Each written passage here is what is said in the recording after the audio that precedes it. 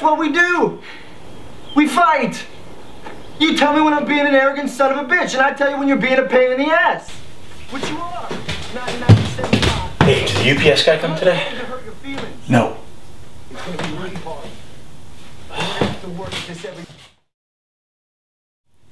Maybe we could get it. Hey, did the UPS guy come yet?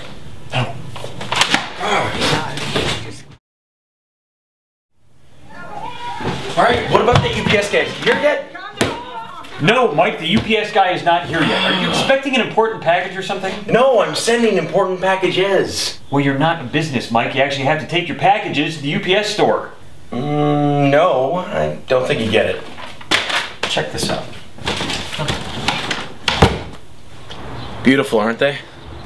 What are these? My NCAA brackets. Not this again. Wait, did you say brackets? As in more than the standard one you're supposed to fill out? Yep. Look, I did a little math this year. Okay, I got it all figured out. Inside these boxes, I have every possible outcome of every single game of all 64 teams in the tournament. I, can't, lose. Right. I can't. The hundred thousand dollars is as good as mine. It's the biggest public payout that exists. Okay, look, I know a guy who knows a guy who's way more important than the guy I know. Check it out. You have four teams, right? Yeah. In a four-team set, you have eight possible outcomes of who will play and who will win. Now take those eight possibilities and add another four teams. Now that's eight teams now. That's another eight outcomes. And then you have to multiply by another eight because there's another eight possibilities. So that's 64 possible outcomes. But then you add another eight teams until you get to 64. And so then what's that number? I you lost me at math. It's simple. Okay, you take that number and you multiply that by 64, and that number is 4,096. You filled out 4,096 brackets? I no. Are you not even listening to me? No. Look, it's a guaranteed win. All right, 100 Grandinskis. And you can really send in all these brackets?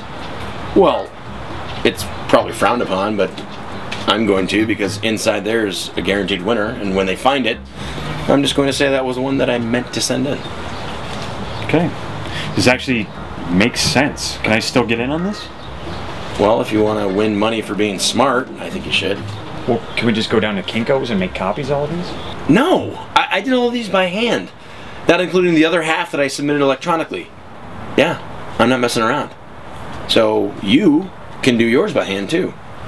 You can start right now. Fine. So it says here there's a $25 submission fee. Well, yeah, it's twenty-five dollars. I mean, how do you think they pay you the hundred grand when you win? And uh, this is my submission. I'm submitting all of these. It says $25 per bracket. What? No, it doesn't. Yeah, it does. Looks like you read the small print, but did you read the smallest print? Let me see that. You know, Mike, I might not be great at math, but it looks like I'm halfway decent at reading, so $25 times, let's see, how many brackets did you say you did again?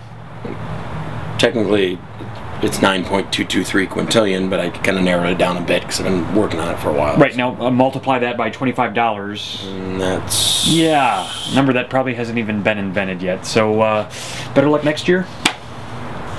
crap. Guess I better start on next year now, huh? Yeah, good luck.